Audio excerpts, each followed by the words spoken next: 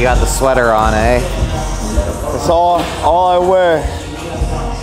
It comes Fine. off a little quicker now. Fine. We're just at our leanest point yet in the prep, and you're wearing a sweater. But how far out are you exactly?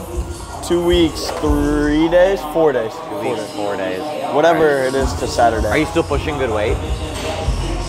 Um, I dropped that like down to 62, but then I bumped back up to 65, and it's going down 64. no, no. I mean like in the gym. Are you still pushing It's going weight? down. That's why I need to do this push day so bad. Okay. I have a lot of elbow pain going on right now. It's Will been- this make it worse? Huh? Will this make it worse? I don't know. It's it's like there, but it's like It's I can still do it. Okay. Yeah. It as doesn't long interfere as, with my weight. as long as you're still able to move weight decently, we should be okay. So we're starting off with an incline hammer strength press. Now, as you guys know, I like to take a bit of a higher hand placement when I do this. That does not mean you have to do it. That does not mean it's optimal. It's just my preferred way of doing it. Do you typically take like a bit of a lower or do you take a higher? It varies. Well, How we'll like get- loose I feel those days. Have you used this machine yet? Once. Okay. Well, we'll figure out what your best place is for it. But.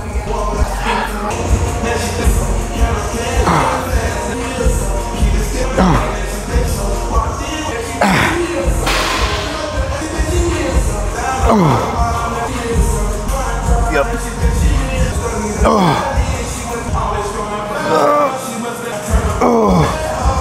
There we go. Come on.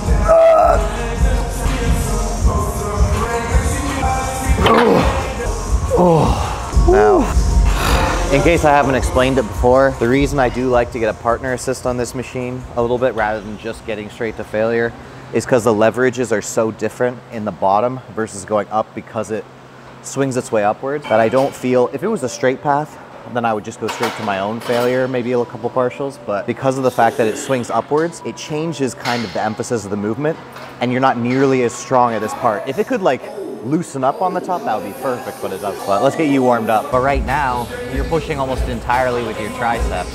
And this is just a really awkward position.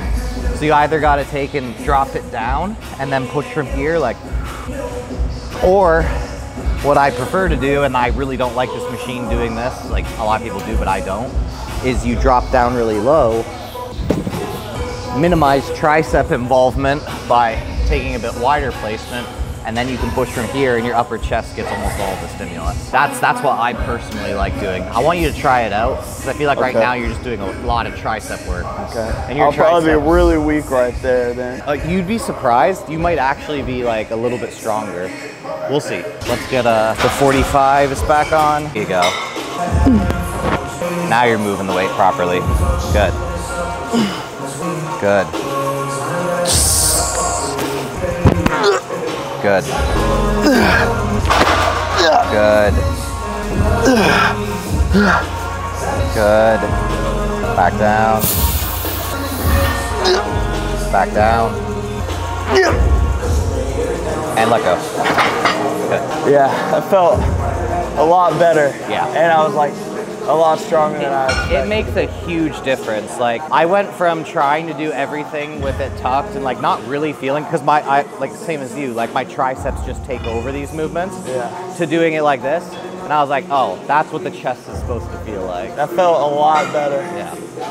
I think tricep dominant pushers Didn't do, will do better like that. My elbow was like tweaking a little bit the first time. Yep. I didn't even have like these up or anything, and it was just so it, it felt tremendously I, better. I, I don't know. I think there's too many people that are too set that it has to be done in the other way that they don't even give themselves a chance. They're like, why are my elbows hurt? Why are my why is my chest not growing? Why is my triceps taking over?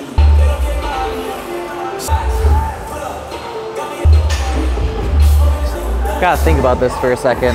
you can adjust the bench if you want to raise it at all. I think like right here. Oh, I see what you're saying. I didn't even know this bench could adjust, to be honest. I just saw that. Let me see if that makes it any Because I think when we did it with Mark, we did it a neutral grip. yeah, that'll be a little better. like this. Although it's really gonna be really hard to get out of here because you have to start so low. We can uh, load it to be really light in the pocket True. or that part of the pocket. Yeah, let's do that.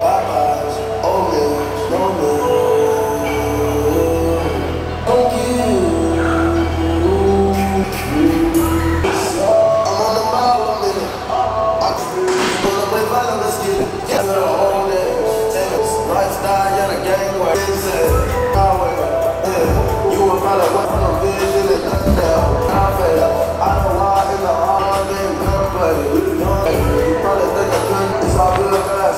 Feels really good. Really, really good. I think I'm only gonna add a 25 to this. Huh? I'm just gonna try to do like perfect form. Cause I, I was thinking about putting it right there. So it's a little, like a little bit more tension in this lengthen. Whereas like you, as soon as you get past like that middle part, it's like just all so hard. we can do that.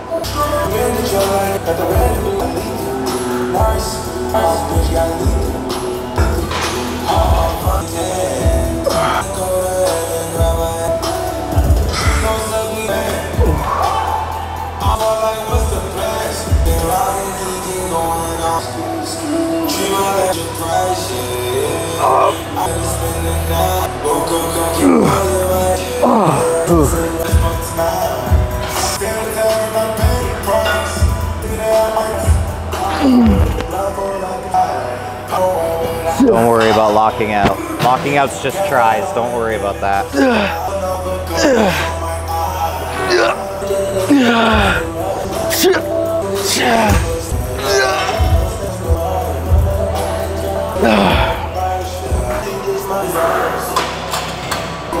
Felt good, like really good. What? So that felt really good. Yeah, I'm actually like I like the stimulus of it to be honest. Yeah. As much as it like it Because it feels a little bit awkward, I'm like it's getting me really direct in the chest. I was gonna say, I feel like it's like the perfect decline exercise. Right. I'm like I was I was surprised because I don't it's I don't like the motion, but I can feel that the tension is going Yeah. directly where it needs to go. Yeah. It's like a love-hate relationship at this point. yeah. So when you're getting ready for like stepping on stage and stuff, what I want you to do is I want you to spend almost all of your time focusing on a chest pump. That's probably what I would do is just push ups. Exactly. Because what's gonna happen is like for guys like you and I, chest is a weak point in our overall physique. Your your back's gonna be great, your arms are gonna be great. So what you want to do is you want to drive as much blood into your chest as possible to make sure that when you step out there and you hit your side chest or like whatever else, it's like they're not like, oh, the chest doesn't match up with the rest of the body. That was one of the mistakes that I made at my at my last show was like I didn't really focus on any particular area. So it was like my chest appeared small next to like my arms. You don't want that. But like it's been really uh, enlightening Huh? doing it's been really enlightening doing posing at the end of my workout because every time I do a chest day, my posing looks way better than any other day. That's why um, every video that I have my red shorts on, it's that's when I hit chest is when I wear my red shorts. Yeah. And they always all do good because I have a chest pump. All right, now you guys are gonna see me throw in something that I've been doing more recently, but I have not done for a long period of time, so don't clown me on my form. But I'm doing dumbbell pullovers. Um, I know, like, maybe it's not the best exercise in the world, but you know, I gotta have fun with things, try things out, and I've been enjoying them. I'm gonna progress them over time, see if I can get any benefit out of it. Maybe I don't, maybe I do, but keep your training novel. Have some fun in there.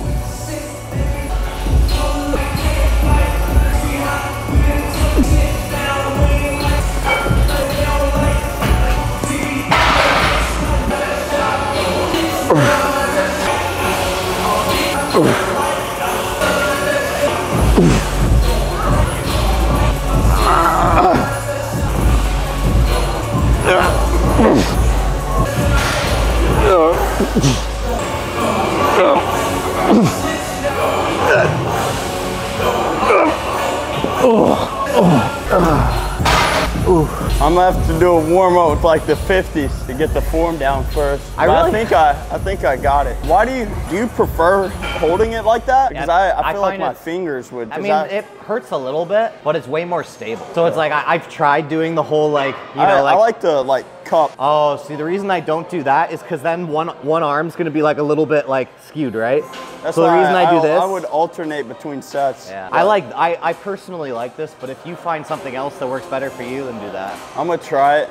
I just know because I've like broke this finger and messed them up on both hands. Right. So they're like they're awful. I heard one guy talking about this, saying that it really helped him develop his serratus better. And thing is, like, we're getting like super lean, right? So like a serratus can be like kind of a cool look. So I'm like, you know what? I'll give it a go. See if I see if I notice any difference.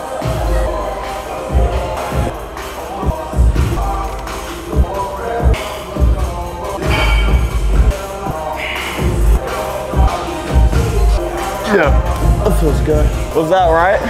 Looks good. No need to bring it all the way up. There you go. Good. Come on. Come on. Good. Pull. Pull. Pull. Good. Get a couple down here. Yep. Yep. Pull. Pull. And nice. It just destroyed Starting my wrist. starting at 80s, your first time back to it is uh, it's pretty it's pretty crazy. Well, I used to do like 130, Right. but But starting back into it like it was that- not controlled or. Yeah. You okay?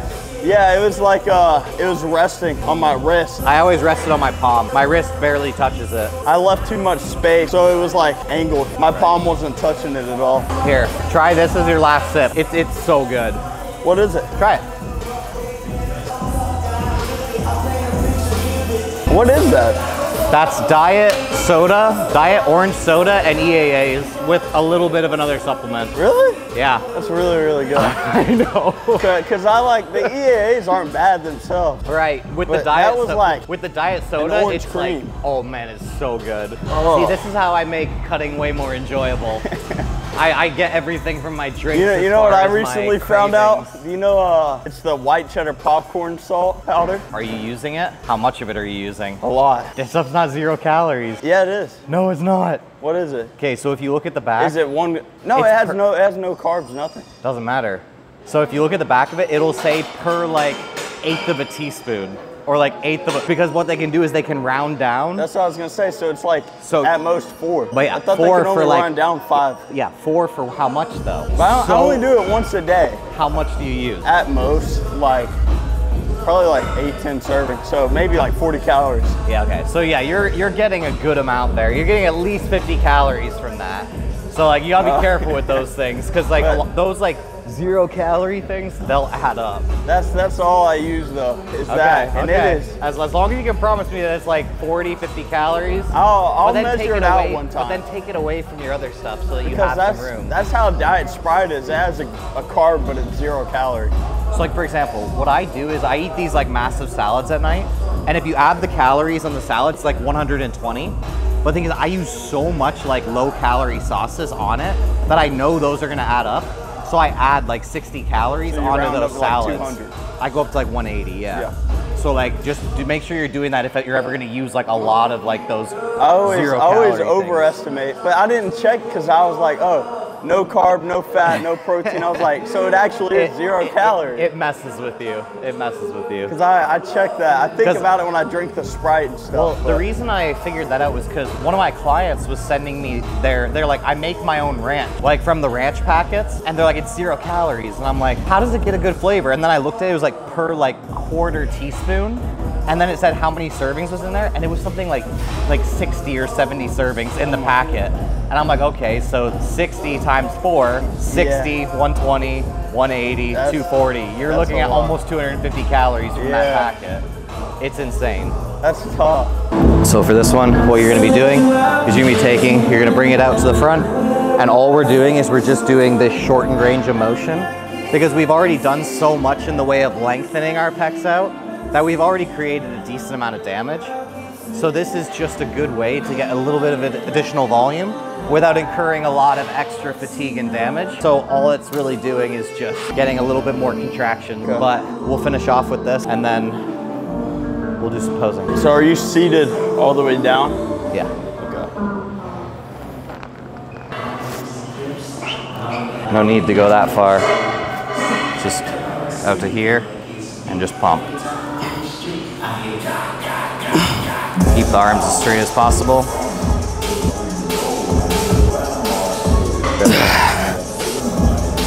Yep.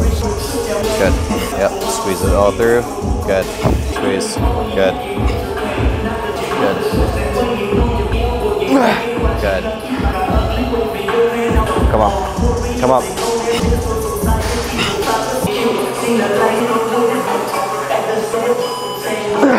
The thing I always find crazy about this one is it feels so easy at the start, and then all of a sudden you just can't do it anymore. Do you ever feel this isn't like elbow, different elbow? Feel it on like the top, like bicep. No. that's why. That's the why you want to make sure that you do it as straight as possible. Okay. Because you'll feel it less the straighter you can keep your arm. But if you're like this, then what's gonna happen is you're gonna get that tendon involved, that bicep. So you're just trying to take and But even that's what I'm. When I have it straight, I still feel. It just feels like it's being stretched. yeah, which is normal. I mean, you basically are you still are getting some tension there. But then what you do is you just kind of like place emphasis on different parts of your hand, and you'll Yeah. notice that it lessens or worsens based on where the tension is on your hand. I'm about to pump up on lateral raises.